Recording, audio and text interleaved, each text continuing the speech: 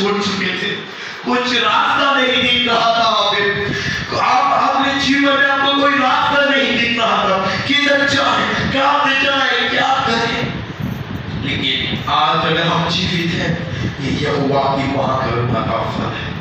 Hallelujah. Praise the Lord कई accident हुए, कई सारे लोग मिट्टी में मिल गए। कई सारे हॉस्पिटल में गिरे हुए हैं। लेकिन यहोवा की माँ करुणा का फल है कि आज हम यहाँ पे मौजूद हैं। Hallelujah praise the Lord praise the Lord हाफिज नहीं है ये यहोवा की महाकरुणा का फल है क्योंकि उसकी दया हम पर अमर है हालेलुया ये मत भूल जाइए हर एक पल हर एक मिनट हर एक सेकंड हर एक घंटा हम अगर देख पा रहे हैं यहोवा की महाकरुणा का फल है क्योंकि उसकी दया हम पर अमर है हालेलुया।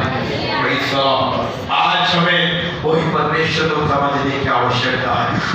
क्या आप लोग कभी भी परमेश्वर के दिल को समझने की कोशिश किए मैं आपसे पूछना चाहता हूँ, क्या आप लोग, आप में से कोई भी, क्या कभी भी आप परमेश्वर के दिल को समझने की कोशिश किए तो आप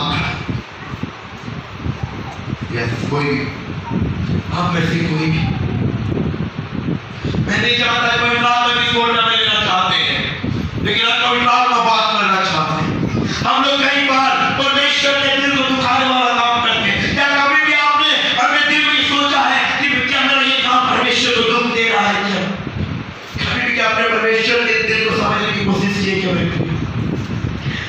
हम लोग बोलते हैं हमेशा वचन में लिखा हुआ है आदम ने गलती किया हवा ने किया आदम ने किया परमेश्वर ने आदम और हवा को जन्नत के बाकी कैसे निकाल दिए क्या उस समय हम लोग देख पाते हैं कि आदम दुखी हुआ लेकिन क्या उस समय परमेश्वर के दिल को समझ पाते आदम चला गया दुख करके, लेकिन उस समय क्या परमेश्वर का दिल नहीं दुखा है क्या?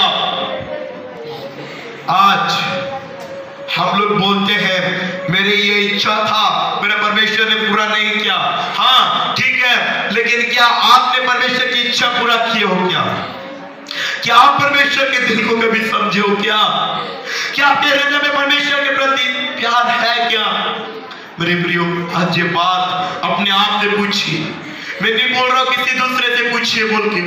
अपने आप से पूछिए, अपनी आत्मा से पूछिए, अपने अंदर खुद झाँक के देखिए कि मेरे दिल में, मेरे परमेश्वर के प्रति कितना प्यार है।